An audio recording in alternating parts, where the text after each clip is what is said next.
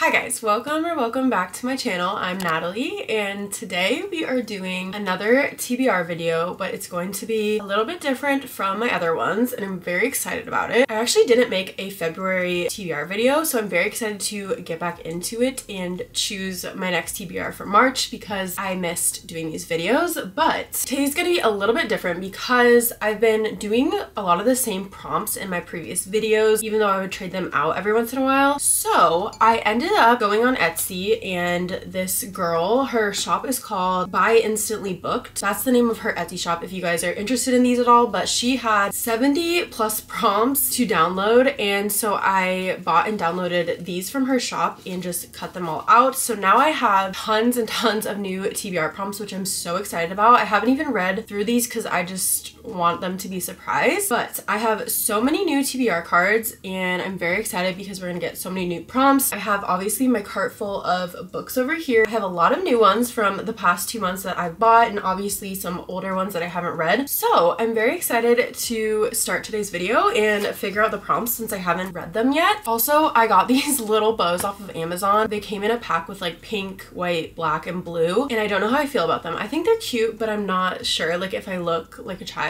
So let me know if you liked them or not. Let's just get into figuring out what my March TBR is gonna be. I obviously have a ton of cards in here. I don't know know what any of them say, so we're just gonna randomly draw from this pile. I know they're cards, so it's a little bit harder than just like the little prompts I pull out usually, but we're gonna make it work. Let's figure out what the first prompt will be. The first one is a book with a cover you don't like. I feel like this is kind of harsh. Like the first one off the bat is a cover that I don't particularly like and I'm not sure what that's gonna be.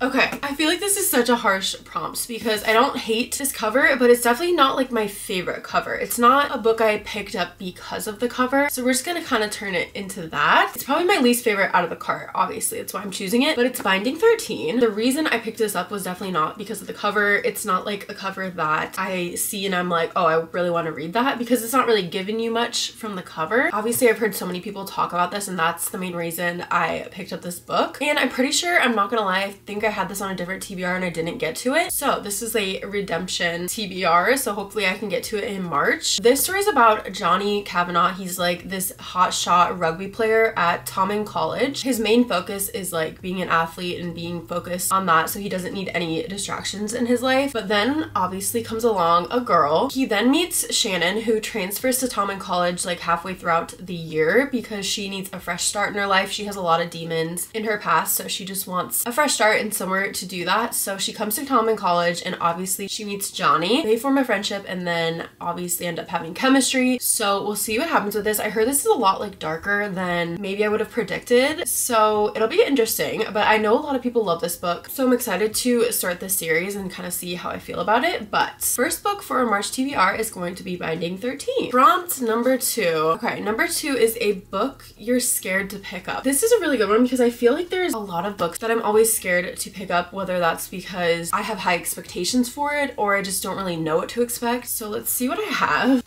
I think the one I'm going to pick for this prompt is One Dark Window because this is probably not the type of book I would usually gravitate towards, but my best friend read this book and obviously a lot of other people have read it too and loved it so, so much. So I feel like it's one I need to pull. But again, like it's not my typical kind of read. I'm typically more of a romance thriller, kind of delving into fantasy reader. So that's why I'd say I'm kind of scared to pull this one just because I don't know anything about it and I don't even know if I'll like it. But we're gonna pull this because of the prompt. So this book is about Elspeth Spindle. Hopefully I'm pronouncing that right. It basically says that she needs a monster and he protects her and keeps her secrets, but it doesn't come for free because obviously why would it? It says, when Elspeth meets a mysterious highwayman on the forest road, her life takes a drastic turn. Thrust into a world of shadow and deception, she joins a dangerous quest to cure blunder of the dark magic infecting it. Except the highwayman just so happens to be the king's own nephew, captain of the most dangerous men in Blunder, and guilty of high treason. So again, like I just don't really know what this is gonna be about, even from the back. So we'll see how I like it,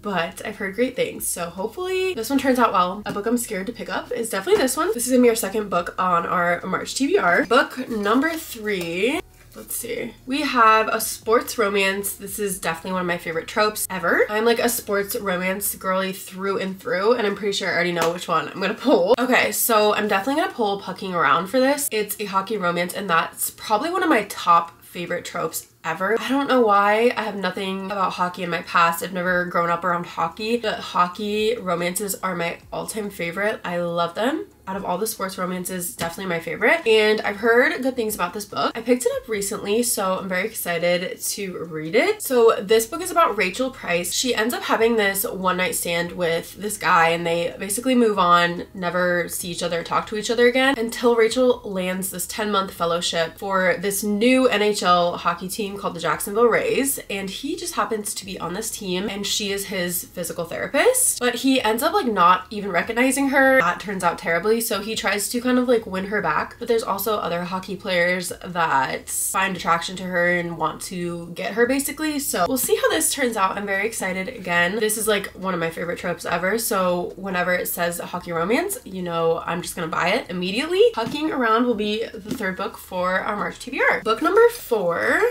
is a book published in 2023. I feel like there's a few maybe on here that are published in 2023. I'm gonna have to do like a little bit of digging on my end, but I'm pretty sure Divine Rivals was published in 2023. Like I'm pretty like 90% positive on that one. Never was definitely published in 2023. So was The Other Mothers. Okay, I'm gonna look up Divine Rivals because I'm like 90% sure that was published in 2023. Yes. Okay. So Divine Rivals was published April 4th, 2023. I'm gonna pick Divine Rivals because again, this was one of the most popular books in 2023 and I have yet to read it because you guys know me, you know I love to put off popular books that everyone loves. But I've heard such great things, I feel like it's my time now that I need to read this and add it to the TBR. So this says, when two young rival journalists find love through a magical connection, they must face the depths of hell in a war between gods to seal their fate forever. We'll see as I read more into this what it's all about. If you guys want a reading vlog with this in it, let me know because I know how beloved this book is. So I feel like you guys might want to see my reactions to it when I read this. But I'm excited to add it to the TBR because I know, again, how popular it is and how much people loved this book in 2023. So I think it's about time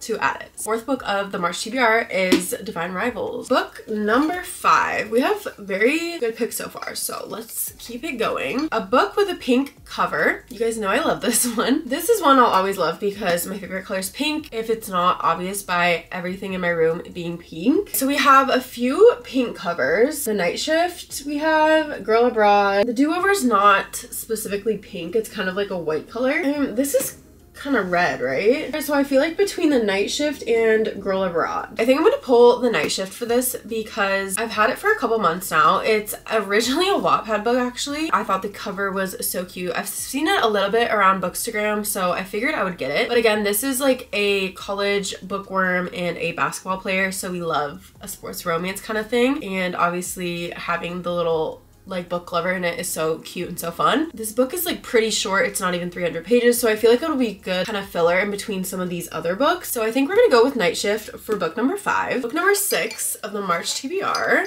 is a book with a person on the cover. We definitely have a few of those. I know immediately what I'm picking, guys. This is the book I'm going to pick. Some of you might have no idea what this book is and some of you may know. And I love that for you guys if you do know. I've talked about this series a little bit on my Instagram recently, but I read this series called The Clique when I was, I don't know, in late elementary probably is the time I read it. I have been wanting this series back in my hands for probably like about a year now. I told Jensen like a year ago that I wanted these books. We looked this series up like a year ago to buy and they were like $200 on resale sites for the whole entire series, which I didn't really want to pay at the time. I was like, I don't, I want the books, but I don't know if I want them that bad to like pay $200 for them. So I recently went to Wisconsin to visit my best friend. She lives there and we went into this small bookstore that she has in her town and I found the Clique series. It was like the greatest moment of my life. I was so excited. I had been wanting this series for so long. It's very nostalgic for me and I ended up picking up the series. I did have to order the first two books off of like different sites because I couldn't find the first book in the store. With all that being said, I now have the full series and I have been wanting to read this series for so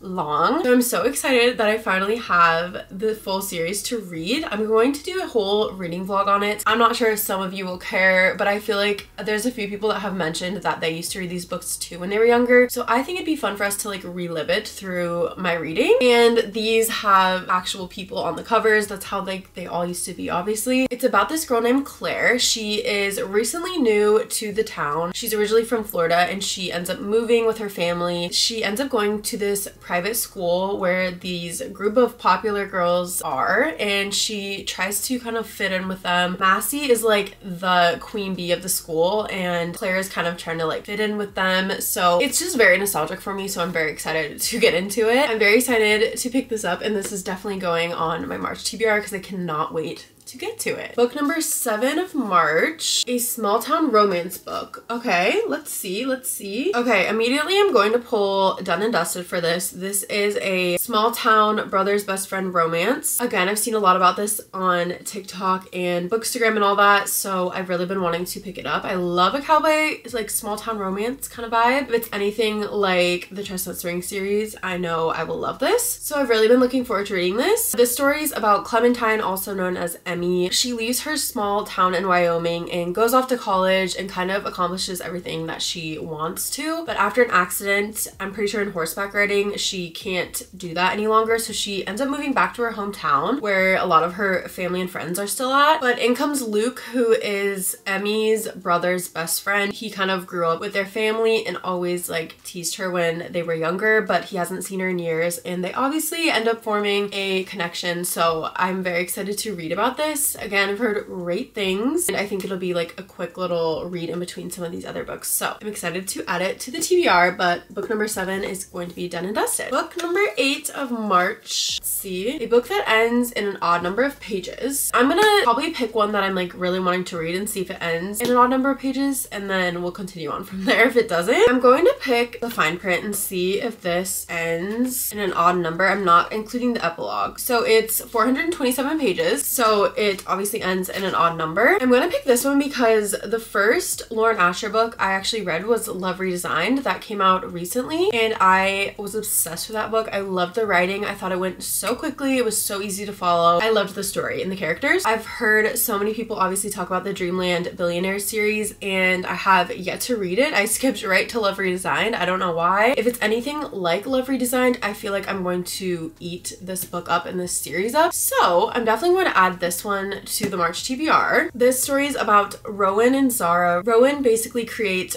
theme parks, five-star hotels, like all these magical places basically that people travel to. And Zara ends up submitting a drunk proposal criticizing their most expensive ride and thinks she should be fired, but Rowan ends up offering her like a dream job. I think it's kind of like an enemies to lovers trope if I'm not wrong about that. But again, like I loved Lauren Asher's writing in Love Redesign. so if it's anything like that, I'm going to love this. I'm very excited to read it. So book number eight is going to be The Fine Print. We have two prompts left for our March TBR, so let's see what we get. This one is a book by an author you've read before. I read a few of these authors before, so again, it's kind of going to be my choice of the authors that I have read before. Okay, the book I'm going to pull for this prompt is The Teacher by Freida McFadden because I don't think we have any, yeah, we don't have any thrillers in there right now, and I love a good thriller, so I feel like I need to add one in. And I love Freida McFadden so, so much. I love her writing. I think her books are great for the most part. There have been some that I've read that haven't been the greatest in my opinion, but overall I really love her writing. This is her newest release. It's called The Teacher, and again, I've heard mixed reviews about it, but in a recent video, people told me that they really liked it, the ones that have read it, so that gives me hope for sure. But this is about Eve. She is a high school math teacher. Last year, their school was kind of rocked by this scandal with one of the students named Addie, but now Addie is in Eve's class this year. She can't be trusted. She apparently lies about everything, but Eve ends up discovering like this shocking truth about Addie and Addie will do anything to keep her quiet about it. So we'll see how this ends up being. Again, I love Freida McFadden's writing, so I'm hoping that I like it, but I feel like I need a thriller to kind of mix up into this whole TBR. So we're gonna add The Teacher by Freida McFadden to our TBR, and this is book number nine. The last prompt of March, these have been so much fun. So I didn't know what any of these were gonna say, so it's fun finding out what all these prompts are in here. But last prompt of March, number 10, is a book with a trope that you love. Okay, again, another one that I'm gonna pick. And I kind of know in my head what I'm gonna pick already. This is a queer book and I want to pick this one up because again, I love having like a variety in my TBRs throughout the month. So this is the one I'm gonna pick up. I honestly haven't heard much about it. Again, I was in like a very small bookstore in Wisconsin with my best friend and the owner of the bookstore, I actually pulled this book and she said that it's super, super cute and she loved it. So I decided to pick it up. It's called Read Between the Lines by Rachel Lacey. This is like an online romance turned to real life. I just really want like a queer trope in there and I love a queer romance. So we're definitely going to add this for number 10 to the March TBR. But those were all of the prompts I'm going to choose for my March TBR. I hope you guys enjoyed this. It was so much fun having the new cards and seeing what they all said throughout. So I'm very excited to have these now printed out and I'm excited to be back on the TBR jar grind because I really miss doing February. So we're back now for March. Let me know which one of these books you've read and if you liked it or not because I feel like we have some really good ones this month and I'm excited to have a great reading month. I've really had a great year in reading so far so I'm excited to keep it going. But I hope you guys enjoyed this video. Thank you so much for watching and I'll see you guys in my next one.